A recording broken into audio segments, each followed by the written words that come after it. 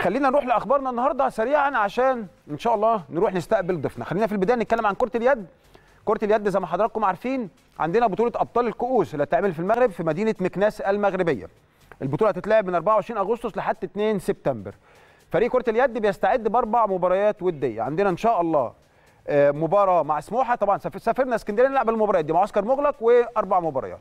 سموحة هنلعب النهارده بكرة مع الأولمبي يوم الثلاث مع نادي البنك الأهلي وآخر ماتشات هيبقى قدام أصحاب الجياد. فرقتنا هتسافر يوم السبت اللي جاي إن شاء الله هتروح المغرب والبطولة بيشارك فيها ثمان أندية الأهلي المصري فاب الكاميروني وداد سمارة المغربي إنتر كلوب الانجولي سكوتو ريما النيجيري والنجم الأحمر الإيفواري واسفا السنغالي وجي إس كي الكونغولي. وفي أخبار جاية لنا إن أحد الفرق ممكن يعتذروا ويعتذر. فرقة أو اتنين هيعتذروا ومرشح يخش مكانهم فريق أثيوبي أو نادي الزمالك المصري. ودي أخبار حصر إحنا جايبينها لكم الحقيقة. لسه وهيبان الكلام ده نهائي إمتى؟